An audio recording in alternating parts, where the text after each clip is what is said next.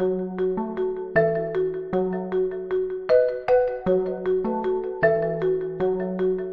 Pain tool allows you to illustrate areas of pain on the model. You can access the Pain tool by selecting Tools from the main menu on the right hand side of the screen. To add a point of pain, select the Pain tool and drag on any part of the model. Undo or redo pain using the Undo and Redo buttons in the Tools panel. Clear All will remove all tool operations. Tap Options to customize the style of paint to apply. Select between Sphere and Brush. The sphere will add a sphere of paint to a point on the model.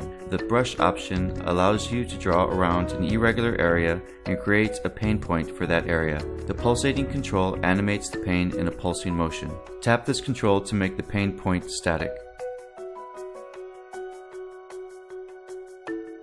Clear only the points of pain on your screen by tapping the Clear Pain button. To rotate or zoom into the model, simply deselect the pain tool and navigate the model as normal.